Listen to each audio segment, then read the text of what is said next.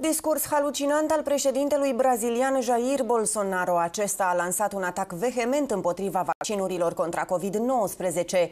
Bolsonaro nu a ezitat să asigure că vaccinul de la Pfizer ar putea transforma persoanele vaccinate în femei cu barbă sau în crocodili. La, na Pfizer, está bem claro lá no contrato, nós não nos responsabilizamos por qualquer efeito colateral. Se você virar um, um chip, virar um jacaré, é problema de você, pô.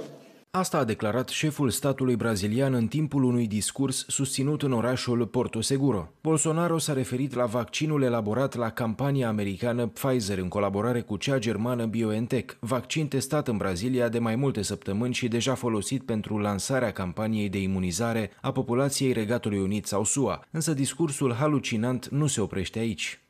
Se você virar super-homem, se nascer barba em alguma mulher aí, ou, ou algum homem começar a falar fino, eles não têm nada a ver com isso.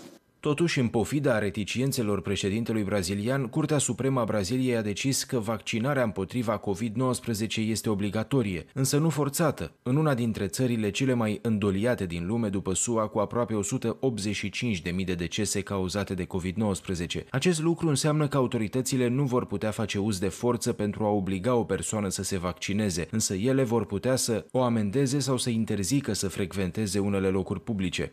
A vacina, uma vez certificada pela Anvisa vai ser extensiva a todos que queiram tomá-la. Eu não vou tomar. Alguns falam que estou dando um péssimo exemplo. Ô imbecil!